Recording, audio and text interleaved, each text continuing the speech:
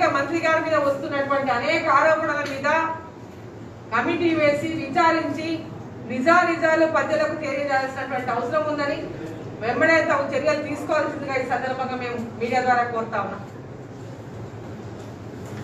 ఇంకా ఇరిగేషన్ విషయానికి వస్తే మన జిల్లాలో ఈరోజు ఆర్డీఎస్ విషయమే కానీ పాలమూరు రంగారెడ్డి కానీ నెట్టెంపాడే కానీ కలువకుట్టే కానీ భీమానే కానీ గోవిసాగరే కానీ ఈరోజు మన జిల్లాలో ఉన్నటువంటి అన్ని ప్రాజెక్టుల విషయానికి వస్తే తెలంగాణ రాష్ట్రం ఏర్పాటై ఏడు సంవత్సరాలు గడిచిపోయినప్పటికీ కూడా ఇంకా మా హయాంలో ప్రారంభం చేసి పూర్తి చేసి అంటే అప్పటికే ఆ ప్రాజెక్టులను నిర్మాణం ప్రారంభం చేసి పూర్తి చేసి ఫస్ట్ ఫేజ్లో సెకండ్ ఫేజ్లో నీళ్ళు విడుదల చేసి మిగిలినటువంటి డిస్ట్రిబ్యూటరీ పనులు కానీ అరకొర చిన్న చిన్న పనులు కానీ ఇప్పటిదాకా కూడా అట్లనే పెండింగ్ ఉన్నాయి.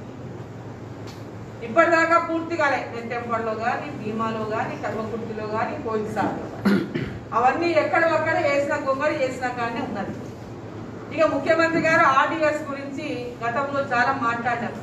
తెలంగాణ ఉద్యమంలో ఆర్డీఎస్ కానీ మన జూరాల ప్రాజెక్టు పాలమూరు జిల్లా యొక్క సాగునీటి ప్రాజెక్టు కానీ కీలక పాత్ర పోషించినాయి. మన ప్రాజెక్టులని ఆ ఉద్యమంలో సెంటిమెంట్గా పెద్ద ఎత్తున వాడుకొని ఈరోజు అధికారంలోకి వచ్చిన తర్వాత ఆ ప్రాజెక్టుల పట్ల ముఖ్యమంత్రి గారి ఉదాసీనత ఎందుకోసం అని చెప్పి సందర్భంగా నేను ప్రశ్నిస్తా ఉన్నా. పాలమూరు జిల్లా ప్రజలు ఆయన రాజకీయ భిక్ష పెట్టినట్టే చెప్పాలి ఒక రకంగా చూస్తే. ఆయన కనుక రెండు వేల తొమ్మిదిలో కనుక అక్కడి నుంచి పార్లమెంటులో కనుక ఎన్నిక కాబడకపోయిందంటే ఈ రోజు తెలంగాణ రాష్ట్రం కోసం ఉద్యమించడానికి ఆయనకు ఒక పెద్ద ఎత్తున ఆ ఉద్యమంలో నాయకత్వం వహించేటట్టు అవకాశం ఉండేది కాదు. తెలంగాణ రాష్ట్రం మనకు సాధించుకునేటటువంటి విధంగా ఆయన ముందుండేటటువంటి అవకాశం ఉండేది కాదు. ఇక్కడ తెలంగాణలో మన బాబులు పాలమూరు జిల్లా ప్రజలు పార్లమెంట్ మెంబర్గా గెలిపించి రాజకీయ భిక్ష పెట్టిన విషయాన్ని కేసీఆర్ గారు మర్చిపోవద్దని చెప్పి ఈ సందర్భంగా నేను తెలియజేస్తా ఉన్నాను.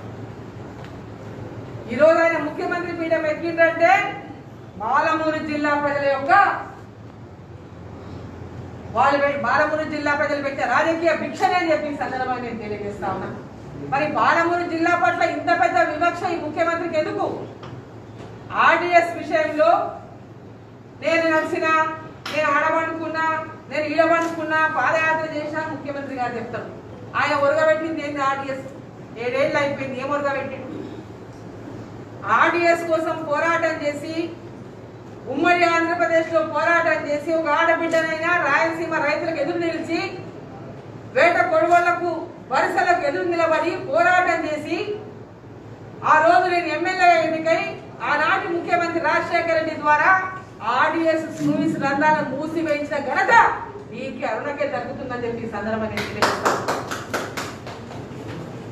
పాలమూరు జిల్లా ప్రాజెక్టులకు అన్నిటిపైన కూడా జిల్లా అలంపూర్ దగ్గర మొదలు పెడితే హైదరాబాద్ దాకా పాదయాత్ర చేసి రైతులందరినీ దీంట్లో భాగస్వామ్యం చేసి పెద్ద ఎత్తున పాదయాత్ర చేసి పాలమూరు జిల్లాకు ప్రాజెక్టులను సాధించుకొని ప్రాజెక్టులను పూర్తి చేసిన ఘనత కూడా మాకే దక్కుతుందని చెప్పి సందర్భం నేను తెలియజేస్తా ఉన్నా. ఈరోజు తెలంగాణ వచ్చిన తర్వాత ఏం చేసింది ఏం చేసింది పాలమూరు జిల్లాకు పాలమూరు రంగారెడ్డి పేరు చెప్పి పాలమూరు రంగారెడ్డి ప్రాజెక్టు చెప్తున్నాడు అవతల ఆంధ్రప్రదేశ్ వాళ్ళు అక్రమంగా కట్టి అక్రమ ప్రాజెక్ట్ ఇదంటే ఏం చెప్తున్నాడు? ఇది అక్రమ ప్రాజెక్టు కాదు. ఇది ఉమ్మడి ఆంధ్రప్రదేశ్లోనే శాంక్షన్ అయింది. ఉమ్మడి ఆంధ్రప్రదేశ్లో పాలమూరు రంగారెడ్డిని ఎవరు శాంక్షన్ చేయించిండ్రు? ఆ జీవోని విడుదల చేయించిన ఘనత డీకే అరుణగా కాదా? ఒక్కసారి జవాబు చెప్పాల్సినటువంటి అవసరం. ఆనాటి మంత్రిగా పాలమూరు జిల్లా పాలమూరు రంగారెడ్డి యొక్క ప్రాజెక్టు సర్వే పనులకు జీవో ఇప్పించిన ఘనత ఈకి అరుణకే దక్కుతుందని చెప్పి ఈ సందర్భాన్ని తెలియజేస్తాం పాలమూరు జిల్లా కోసం పాలమూరు రైతుల కోసం పాలమూరు కష్టాల ఈ యొక్క బతుకులు ఎక్కడెక్కడ నువ్వు వలసలపై బతుకుతున్న బతుకులను బాగు చేయాలనేటువంటి లక్ష్యంతో ఆనాడు ఒక మంత్రిగా ఉండి జిల్లా కోసం అనే అహర్నిశలు కృషి చేసినటువంటి విషయాన్ని ఈ సందర్భంగా గుర్తు చేస్తా ఉన్నాను ఈరోజు రోజు ఆర్టీఎస్ దగ్గర తెలంగాణ సాధించుకొని ఈరోజు రోజు ఆర్టీఎస్ దగ్గర ఎలక్షన్ల ముందర ఆర్టీఎస్ దగ్గర ఆర్డిఎస్ కింద తుమ్మిల లిఫ్ట్ ఒకటి ఆన్ చేసి దాన్ని తుమ్మిల లిఫ్ట్ అని ఒకటి కట్టి అది అది కూడా గతంలో మేము చేసిన ప్రతిపాదనలే. ఆర్డిఎస్లో నీళ్ళు వస్తలేవు.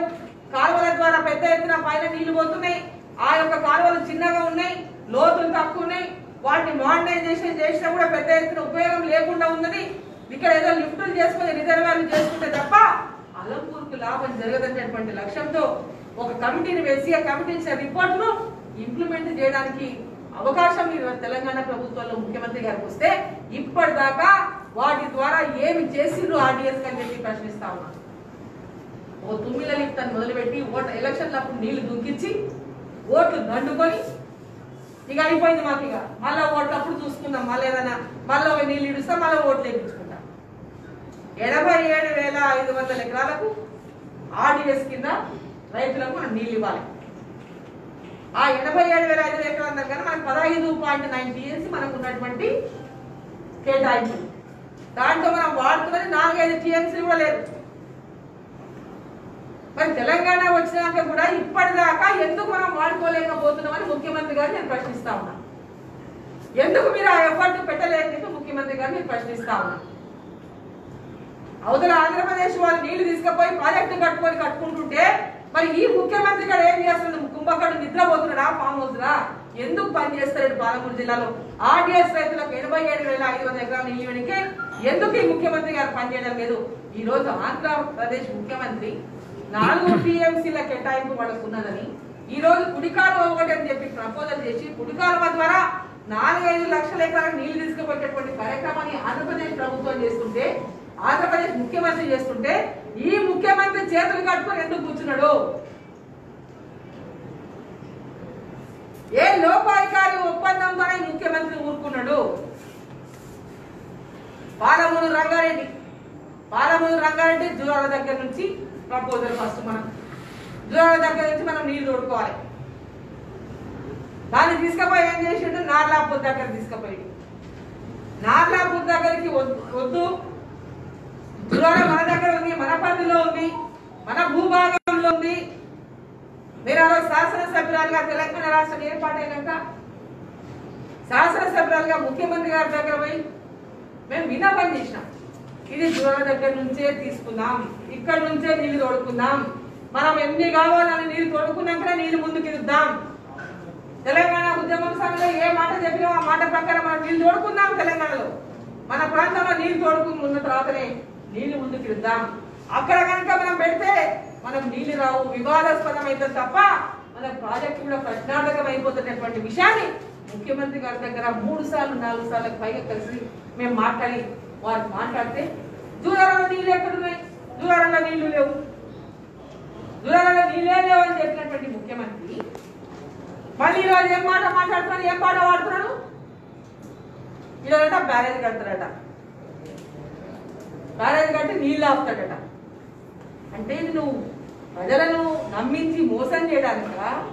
ప్రాజెక్టుల పేర్ల మీద తెలంగాణలో లక్షల కోట్లు ప్రాజెక్టులు పెట్టి పెట్టి పెట్టి ఈ కుటుంబం మొత్తం ప్రాజెక్టుల పేరు మీద కల్వకుంట కుటుంబం కుటుంబం దోపిడీ కోసం అని చెప్పి అడుగుతా ఉన్నా. ఈరోజు కొత్త పరిపాలన మీ కుటుంబం దోపిడీ కోసమా? పాలమూరు జిల్లా యొక్క ప్రజల కడుపుల నింపడానికి రైతుల కడుపు ప్రశ్నిస్తా ఉన్నా. ఇది కేవలం ప్రాజెక్ట్ ఈ ప్రాజెక్ట్ కాదని ఆ ప్రాజెక్టు అది కాదని ఇది ఇది కాదని పేరు చెప్పి దోపిడీ కోసమే మమ్మల్ని మరోసారి మోసం చేయగా చూస్తా ఈ ముఖ్యమంత్రి. అప్పుడే ఎందుకు కట్టలేదు మరి? ఆ రోజు ఎందుకు తీసుకోలేదు మరి? ఇవన్నీ కూడా అబద్ధ మాటలు చెప్పి పాలమూరు అమాయకులు ముఖ్యమంత్రి కాబట్టి నేను ఏది చెప్పినా నమ్ముతారు. ఇలా ఎక్కడైనా మోసం చేయొచ్చు. కాబట్టి మళ్ళా ఈడో ఆనకట్ట కడతా అని చెప్పి మళ్ళీ ఒకసారి పాలమూరు ప్రజలను అమాయకులను చేసి మోసం చేస్తా ఉన్నాడు విషయాన్ని సందర్భంగా నేను తెలియజేస్తా ఉన్నాను నేను ఒకటే ప్రశ్నిస్తా ఉన్నా ముఖ్యమంత్రి గారికి చిత్తశుద్ధి లేదు పాలమూరు రంగారెడ్డి మీద లేదు ఆ డిఎస్ మీద లేదు ఆల్రెడీ కట్టిన ప్రాజెక్టును పూర్తి చేయాలనే చిత్తశుద్ధి లేదు. ఆయన అండర్స్టాండింగ్ అంతా అవతల అవతల ముఖ్యమంత్రితో అయిపోయింది.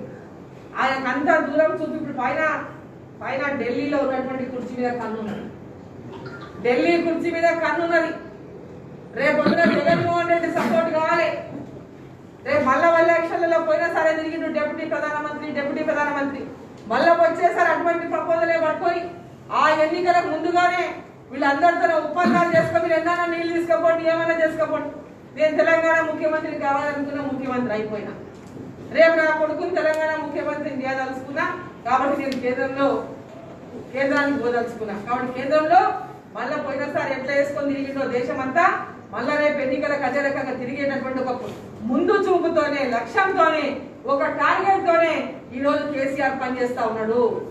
పాలమూరు ప్రజలకు తీవ్రమైనటువంటి అన్యాయం చేయడానికి సిద్ధమైపోయిండు. మనం పదే పదే మోసం చేయడానికి తయారైపోయిండు. ఈరోజు లోపాధికారి ఒప్పందం రేపు పార్లమెంట్ సీట్ల సపోర్ట్ చేయాలి ఒప్పందంతోనే పాలమూరు రంగారెడ్డి ప్రాజెక్టు కింద వస్తున్నాడు ఆ సంగమేశ్వర గాని రాయలసీమ లిఫ్ట్ గాని పోతిరెడ్డిపాడు గాని ఈ రోజు పెద్ద ఎత్తున అక్కడికి వెళ్ళి తీసుకుపోతున్న మౌనం నటిస్తున్నాడు. వాళ్ళ మంత్రులతో డ్రామా చేసి తిట్టిస్తున్నాడు. ఇదంతా ఆయన డ్రామాలో భాగమే తప్ప మన పాలమూరు జిల్లా ప్రజలను మోసం చేయడంలో భాగమే తప్ప మన జిల్లా ప్రజల పైన చిత్తశుద్ధి లేదనకని చెప్పి ఈ నేను తెలియజేస్తాను ఈరోజు పాలమూరు జిల్లా కోసం ఒక ముఖ్యమంత్రిగా ఇక్కడి నుంచి అయింది? నుంచి ఎంపీగా అయినట్టు గెలిపించి మనం పంపిస్తేనే తెలంగాణకు ముఖ్యమంత్రి అయింది ఆనాడు పాలమూరు జిల్లా ప్రజలు గెలిపించకుంటే తెలంగాణ ముఖ్యమంత్రి కాలేదు కేసీఆర్. మరి ఈ ప్రాంతం మీద ఇంత కక్ష ఎందుకు పెట్టుకున్నాడు?